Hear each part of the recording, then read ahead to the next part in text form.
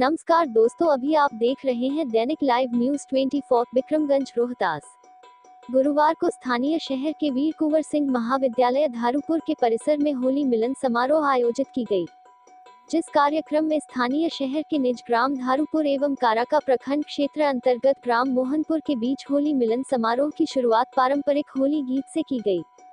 होली मिलन समारोह कार्यक्रम के प्रारंभ में विक्रमगंज व्यापार मंडल अध्यक्ष सिद्धनाथ सिंह उर्फ़ जवाहर सिंह एवं महाविद्यालय महासंघ अध्यक्ष सह वीर कुंवर सिंह विश्वविद्यालय के सीनेट सदस्य डॉक्टर मनीष रंजन के द्वारा होली मिलन समारोह में आए ग्रामीण कलाकारों, पत्रकारों एवं अनुमंडल क्षेत्र से आए हुए जनप्रतिनिधि एवं गणमान्य लोगों को अबीर गुलाल लगा। गले मिल एक दूसरे को होली पर्व की शुभकामनाएँ व बधाई दी।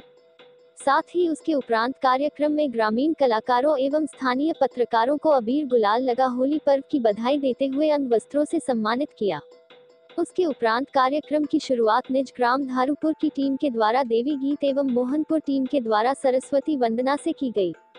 उसके उपरांत धारूपुर टीम के द्वारा सुमिरो शिव शंकर प्रथम नाम, अवध में उड़ेला गुलाल हो रामा, अवध में उड़ेला गुलाल से कार्यक्रम की शुरुआत की गई। तो वहीं दूसरी ओर मोहनपुर की टीम के द्वारा बंगला में उड़ेला गुलाल हो रामा बंगला में उड़ेला गुलाल से कार्यक्रम की शुरुआत की गई।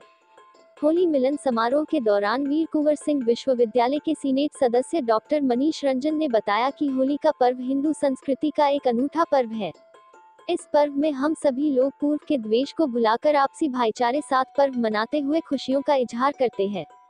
उन्होंने सभी लोगों से अपील करते हुए कहा कि इस पर्व को हिंदू संस्कृति के अनुसार आपसी भाईचारे व सौहार्दपूर्ण के साथ मनाएँ।